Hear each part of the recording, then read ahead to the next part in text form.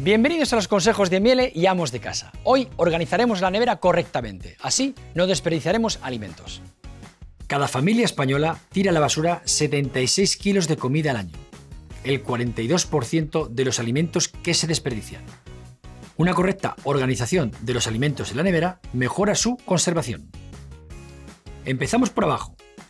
Si la nevera solo dispone de un cajón, colocamos las frutas en una mitad y las verduras en la otra.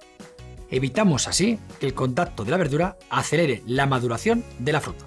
Las frutas y verduras recién compradas se colocan en la parte trasera y pasamos delante las que llevan más tiempo.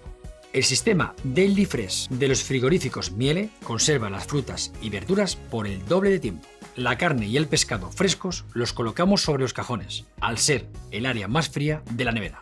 Para proteger los que no vengan envasados herméticamente, los envolvemos con una película de plástico sobre un plato o los guardamos en un tupper.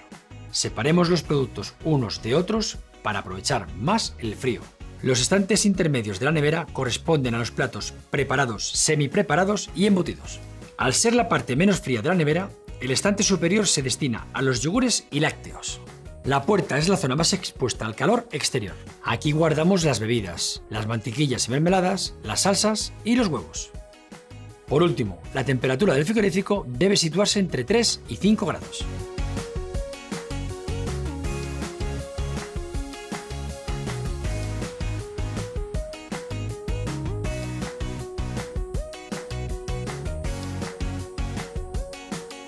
Nos vemos en el próximo consejo de Miele y Amos de Casa.